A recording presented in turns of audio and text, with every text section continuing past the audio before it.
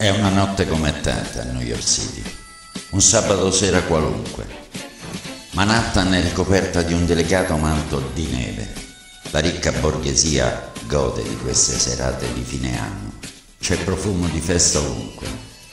Dall'altra parte, i sobborghi del South Bronx pullulano di morti di fame, gente che si arrangia di giorno e di notte, uomini che prendono e donne che danno, ognuno per poter mangiare, almeno domani.